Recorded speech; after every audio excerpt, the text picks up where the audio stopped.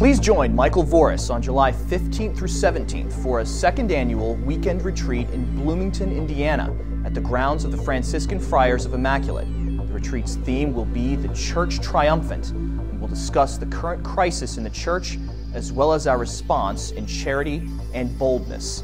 Please click on the link for registration details and information. God bless.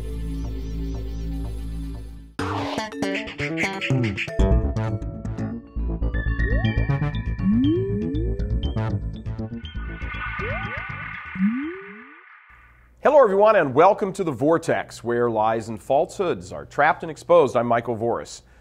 Are you ready for persecution? Are you ready to be marginalized, intimidated, lose your job, fined, imprisoned, tortured, or killed for the faith?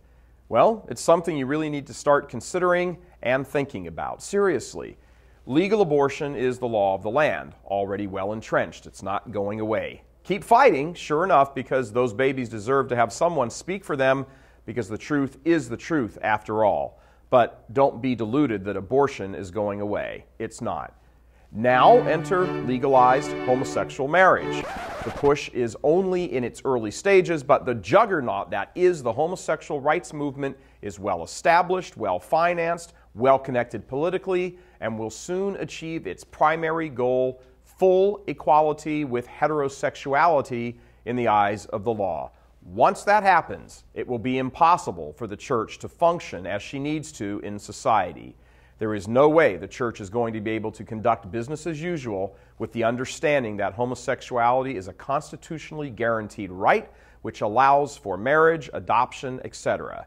It's being classed as a civil right, and when that process is complete, to oppose that in any form will be viewed as a violation of civil rights with all the ensuing power of the state leveled against the perpetrators. This is why the shocking lack of fight put up against the homosexual marriage push in New York by that state's Catholic bishops was so utterly breathtaking.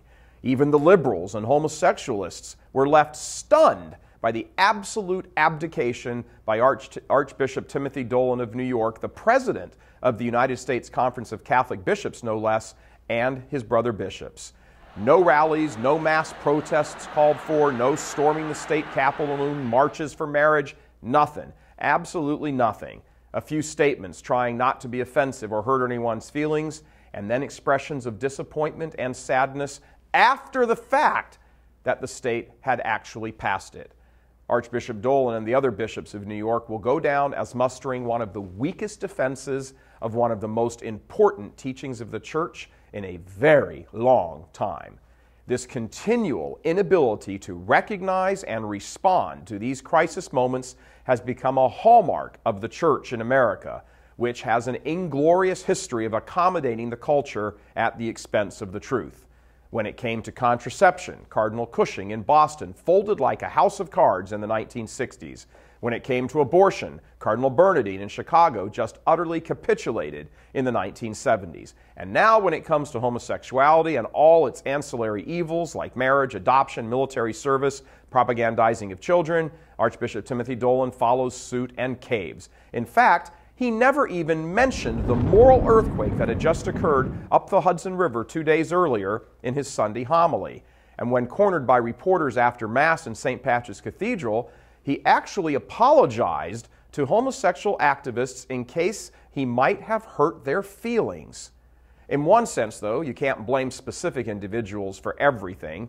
These men have subordinates who are not faithful to church teaching. They either discount it, ignore it, or actually preach against it. These subordinates, and they are all over the country and the world, we might add, are allowed to occupy positions of authority and influence in the church. These subordinates have added to the corruption and moral decay of the church in a thousand ways and a hundred methods.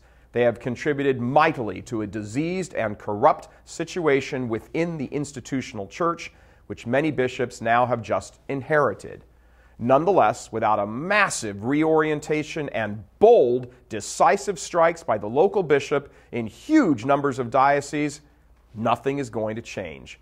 Too many simply no longer see the church as the sole bulwark against evil that it is. They have themselves steered the church off course or allowed it to be steered off course by their subordinates, whose theme song may as well be Don't Rock the Boat, baby. They refuse to take the decisive steps that need to be taken, except against those who are insisting that they take decisive steps. They are driving the church into the ground, allowing her enemies to rejoice over her. They also fail to grasp, or at least articulate in any meaningful manner for the laity to grasp, that there is a gigantic leviathan of evil poised to render the church utterly and completely devoid of existence.